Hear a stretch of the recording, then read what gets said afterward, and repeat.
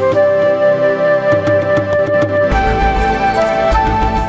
ஆவின் நிறுவனத்தில் நிலவும் பல்வேறு குளறுபடிகளுக்கு முற்றுப்புள்ளி வைத்து ஆவின் பால் மற்றும் பால் பொருட்கள் மக்களுக்கு தங்கு தடையின்றி தாராளமாக கிடைக்க நடவடிக்கை எடுக்க வேண்டும் என்று முன்னாள் முதல்வர் ஓ பன்னீர்செல்வம் வலியுறுத்தியுள்ளார்.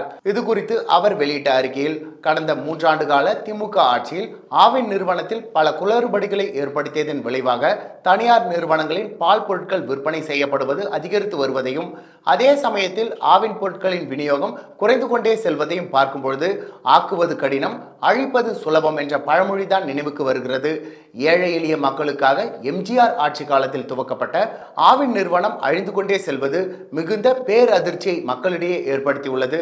ஆவின் நிறுவனத்தில் ஏற்பட்டுள்ள பால் பற்றாக்குறை காரணமாக கடந்த ஓராண்டாகவே ஆவின் வெண்ணெய் பல பகுதிகளில் கிடைப்பதே இல்லை. இதன் விளைவாக பெரும்பாலான இடங்களில் அமுல் மில்கிமிஸ்ட் உள்ளிட்ட தனியார் நிறுவனங்களின் வெண்ணெய் விற்பனை செய்யப்படுகிறது.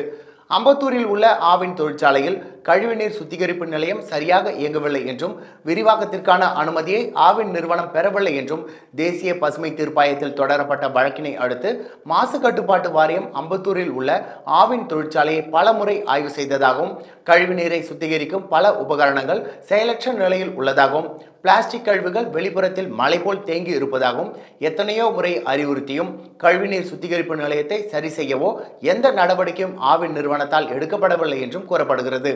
இதன் விளைவாக மாசு கட்டுப்பாட்டு வாரியம் அம்பத்தூரில் உள்ள ஆவின் தொழிற்சாலையின் உற்பத்தியை தினசரி நான்கு லட்சம் லிட்டர் என்பதிலிருந்து மூன்று லட்சம் லிட்டராக குறைக்க உத்தரவிட்டு இருப்பதாகவும் பிளாஸ்டிக் கழிவிற்கு மூடிய கிடங்கினை இரண்டு மாதங்களுக்குள் அமைக்குமாறு அறிவுறுத்தியுள்ளதாகவும் செய்திகள் வந்துள்ளன.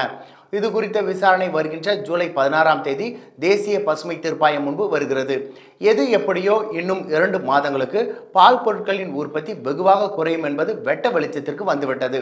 ஊழியர்களுக்கு அகவிலைப்படியை கூட அளிக்காத ஆவின் நிறுவனம் எப்படி மாசு கட்டுப்பாட்டு நிறுவனம் சுட்டிக்காட்டியுள்ள குறைகளை நிவர்த்தி செய்ய போகிறது என்று தெரியவில்லை.